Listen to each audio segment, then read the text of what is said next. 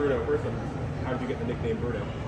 Uh, I, I really don't know. I just, just um, my dad, he the uh, third, so I'm the fourth, and they call him Big Bruno, so they started calling me Little Bruno.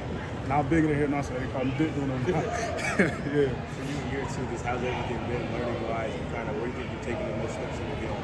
Uh, really just moving guys, just getting them out of the way, just progression, like um, like just staying low, keep my head up and moving my feet, just getting them out the way. And then headed to the spring games, what are you most excited about? You know, Just, just competing, just try to get that starting position.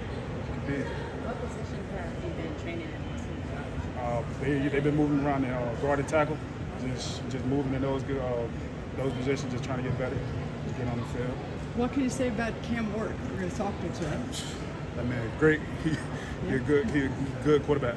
Good Uh, quarterback. You know the field, play the field great, and you move the ball great. What's he like with his teammates? Oh, he's a fun guy to be around. He caring, caring about everybody. Want to see everybody win. He love like love everybody. He just love everybody. Were you at that steak dinner?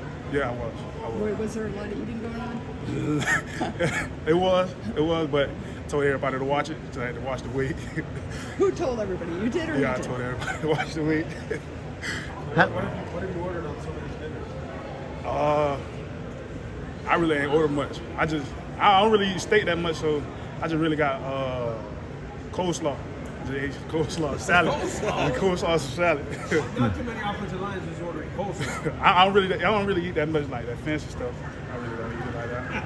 How are things coming for the offensive line? It seems like you guys are starting to build more depth.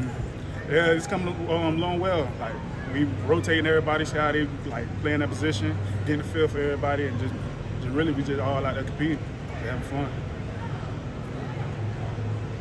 Any other questions?